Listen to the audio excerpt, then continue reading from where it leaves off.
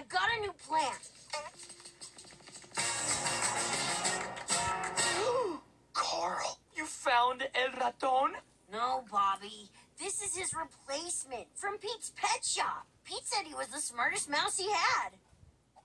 Hey, smart mouse, how would you like to be the new El Raton? You get to dress up, have money, and be a hero to lots of kids.